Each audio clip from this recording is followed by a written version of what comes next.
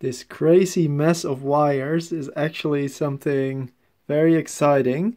It's a prototype of my uh, Arduino pulse motor controller. So I wrote some software for uh, the Arduino which allows me to um, control with this pot the delay of the pulse and with this the duty cycle of the pulse and it took me a while to write it uh, was a bit more complex than I thought but it all worked out and so now I'm able to use the Arduino to um, switch this transistor which switches the power supply and which then powers the motor so let's uh, see how it all works um, I got it all hooked up uh, here's the Arduino pulse control and the serial monitor. So let me just give it a spin and we'll see what happens.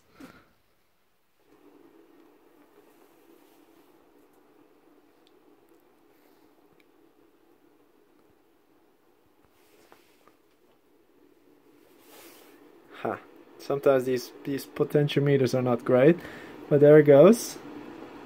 As you can see it's starting. Drawing some amps from the power supply. And here on the serial monitor on the left you see the um, RPM so you see the RPM going up. This is the duty cycle. It's currently at 43% duty cycle. And uh, those are the only two things that are uh, of interest right now so you see you're already at 1500 hertz or uh, 1500 RPM 1600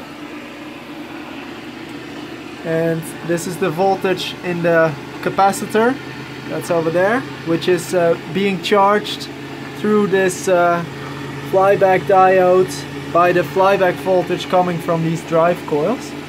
You see it's uh, speeding up. We're at uh, about 2100 rpm which is not not bad at all and you see that you'll hear when I change the delay start slowing down. So now we're going down to 1800.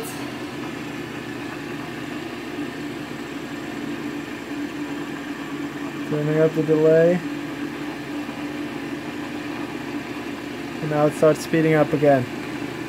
You can also tweak the duty cycle. You can also see that on the scope here. So I twist See the duty cycle change? It's not very stable the number, but you get the idea. At least here you see now that I changed the duty cycle to 33 and we're at about 2000 RPM.